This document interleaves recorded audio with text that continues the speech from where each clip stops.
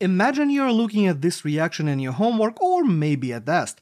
What is going to be the product? Is it going to be this molecule? Now, would you be surprised if I told you that it's also going to be this product as well? And to make it more confusing, the major product here will depend on the way we do this reaction. Hey everyone, Victor is here, your guide to all things organic chemistry, and in this video I want to talk about the details of the hydrohalogenation of dienes, how to approach this reaction, and how to determine the major versus minor products. So grab a cup of coffee, a notebook to work through the examples with me, hit that like button for good luck on the test, and let's get started. So let's get back to this reaction which is the hydrohalogenation of butadiene. If I react this butadiene with my hydrogen bromide, which I have over here above the arrow, we're going to start this reaction with a simple electrophilic attack on the diene. Like we would normally expect for any alkene, the alkene, the pi bond of the alkene is going to reach out for that hydrogen, and the electrons from HBr bond is going to end up on the bromine. So what that's going to give me is the two possible carbocations. I'm going to end up with one carbocation that's going to look like this. This is obviously going to be a primary carbocation, and this carbocation is the result of the hydrogen being attached to that carbon. And my other possibility here is going to be a carbocation that will look like that, which is going to be a result of my hydrogen attacking this carbon, and that one is of course a secondary carbocation. Naturally, the primary carbocation is very unstable, so I'm pretty much going to discard that thing right away. The secondary carbocation that I have over here is a much more stable example. But in addition to being a secondary secondary carbocation, that carbocation is also allylic, which means that it is stabilized by resonance. So I can draw a resonance structure here looking like this, where I take my electrons of the pi bond move them towards my carbocation, which going to give me another carbocation contributor looking like this.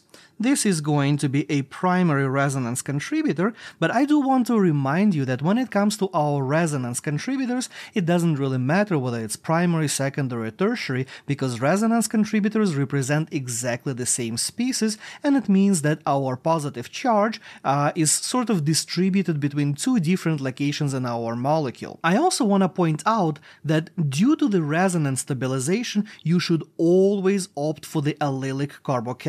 This is going to be true even if you are comparing the allylic carbocation with a tertiary carbocation that is not allylic.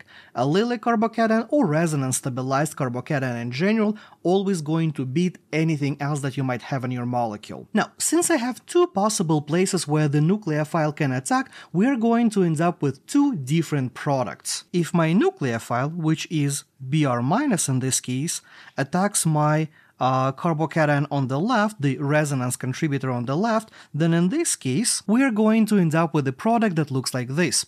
However, if my nucleophile, again my Br minus, my bromide, going to attack the other carbocationic position that I have in my molecule, then in that case, my product is going to look like that. Simple enough so far, right? Now, what's really interesting is that these two constitutional isomers that we get here as our products are not going to be formed in the same quantity quantities.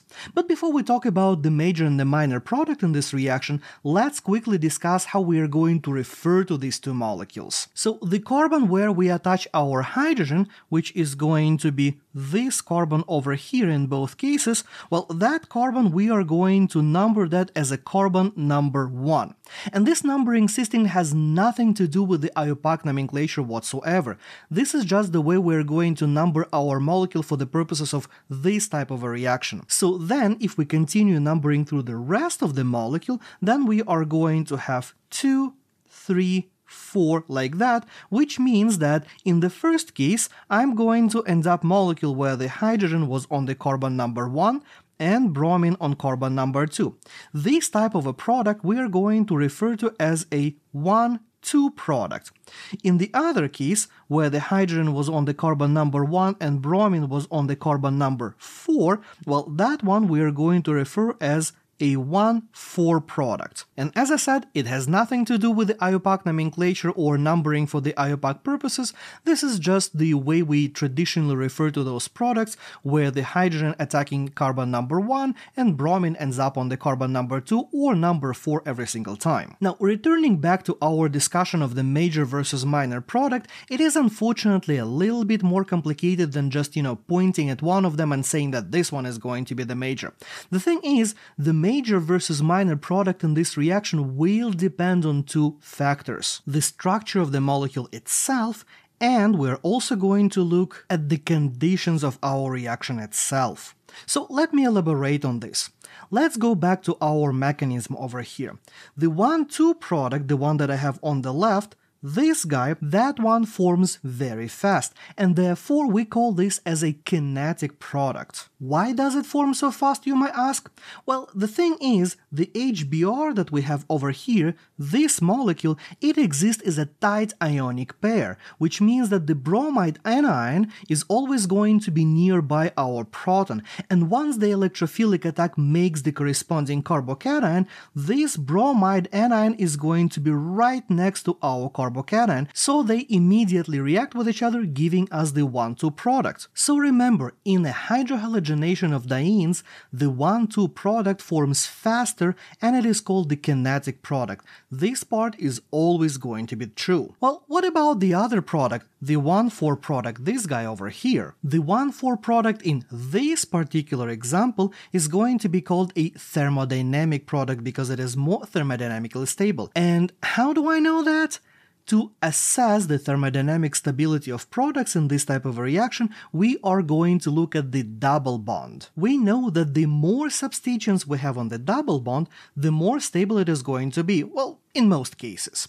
So in the case of the 1,4 product in this reaction, the double bond is attached to two substituents, so if I look closely, I can see that my double bond is connected to one two other groups, while the double bond in the case of the 1-2 product here is only attached to one other carbon, which means that the 1-4 product for this particular example again is going to have a more substituted double bond and therefore it's going to be more stable. Well, why does it even matter? We know that the 1-2 product forms faster, so who cares about 1-4 product, right? Well, not quite. You see, this reaction is an equilibrium, which is very important to keep in mind. And since we have resonance stabilized carbocation as our intermediate, the products can easily reform this intermediate, which means that even though 1,2 product forms faster than 1,4 product, it can just as easily break up and make other isomer in this reaction. So for each of the steps here in this reaction, I should technically write that this is an equilibrium equilibrium and we can go back to our resonance stabilized intermediate which can be then reattacked by the bromine from the other perspective. So let's analyze this situation from the kinetics and thermodynamics perspective. So we have our carbocation intermediate over here and for the simplicity's sake I'm going to abbreviate that as a C plus like that. Our carbocation intermediate can make either 1,2 product or 1,4 product. We know that 1,2 forms fast, so if I were to put everything onto the energy diagram, I'm going to have the following picture. So let's say I have my carbocation intermediate somewhere in the middle. Forming a 1,2 product doesn't take much energy, so my activation energy for that one is going to be relatively low, so I'm going to have a small hump. Forming a 1 4 product, however, is a much more energy consuming process, so the activation energy is going to be a little bit higher for that one, also meaning that that process is going to be slower. However, from the energy perspective, 1 2 is not as stable as 1,4. My 1,4 product here, my thermodynamic product, is lower in energy, meaning that it's going to be more thermodynamically stable, but we already knew that part. But here is the interesting part. Since our 1-2 product can form rather easily, it can also break just as easy. When it comes to our 1-4 product, our thermodynamic product, it takes more energy and more time for that to form, but it takes significantly more energy for that to break as well. So 1,2 product will form fast and break fast, while our 1-4 product forms slow and breaks slow. So in other words, if we make a thermodynamic product, it will be less likely to break up than the kinetic product, while the kinetic product forms fast and breaks fast as well. This means that with time, we are going to be accumulating the thermodynamic product and losing the kinetic product. So if we stop reaction quickly, or do it at low temperature, we are going to predominantly get the kinetic product. But if we give our reaction time to reach equilibrium, or do it at higher temperature, then we are going to predominantly get the thermodynamic product. So remember, whenever you are analyzing your reaction, low temperature means the kinetic product, high temperature means thermodynamic product.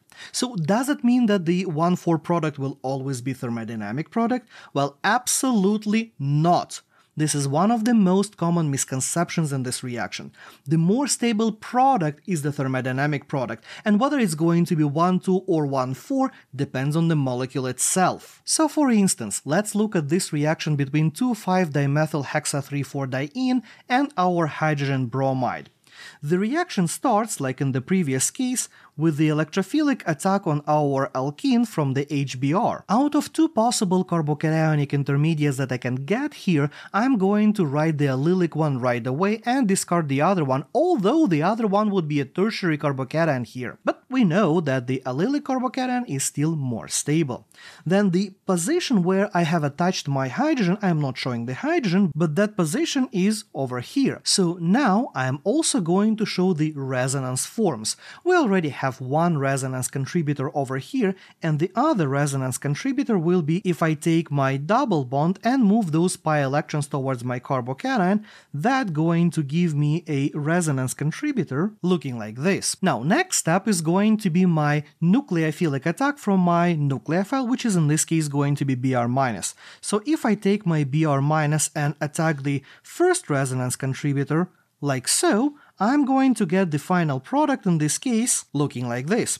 And since I have my bromine at the second position, we are going to call that as a 1, 2 product and we know from our previous discussion that the 1 2 product is always going to be kinetic product so I'm going to say that this is a kinetic product right away. Now in the second case when I'm attacking my other resonance contributor, I'm going to take the bromine again, so I have my Br minus, and now that Br minus is going to be attacking this position. Well, in this case, I'm going to end up with a product that looks like that. And I have my bromine at the fourth position, so we are going to call it a 1-4 product in this particular case.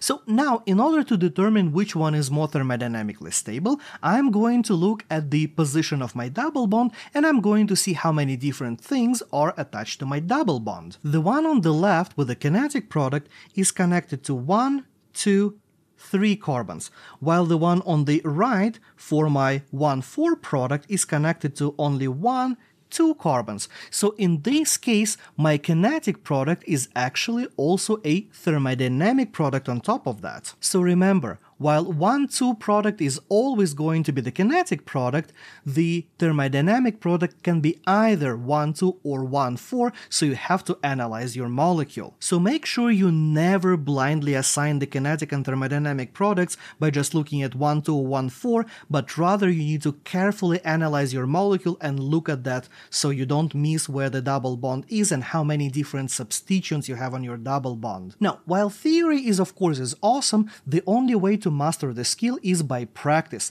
And to make sure that you don't miss the next video where I'm going to be doing practice questions with this type of reactions, subscribe to the channel and ring that notification bell so you don't miss the next time when I upload my video. Oh, and by the way, I do upload videos every single day, so make sure you subscribe, otherwise you're going to be missing all these updates. Also, if you found this video useful, hit the like button to help promote this video so more students can see that. Watch this video next, and I will see you tomorrow.